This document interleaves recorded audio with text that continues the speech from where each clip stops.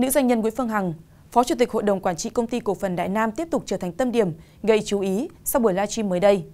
Cụ thể là người tham gia lên sóng cùng bà Phương Hằng đã sử dụng ngôn từ có dấu hiệu công kích các cơ quan báo chí, buộc Sở Thông tin và Truyền thông cùng cơ quan công an vào cuộc xác minh.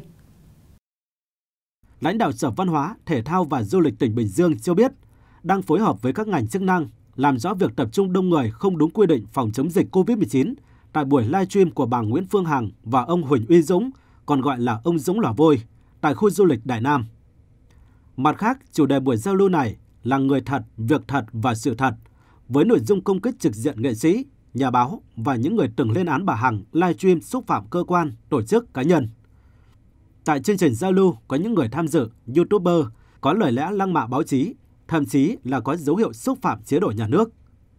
Đối với các phát ngôn nhục mạ, công kích cá nhân, tập thể của bà Hằng và khách mời trong buổi livestream phát trên mạng xã hội, Sở Thông tin và Truyền thông đang cùng công an xác minh làm rõ.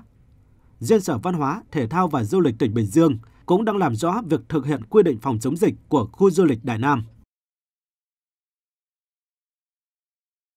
Thông tin vừa rồi đã kết thúc bản tin của chúng tôi ngày hôm nay. Cảm ơn quý vị đã quan tâm theo dõi. Kính chào và hẹn gặp lại.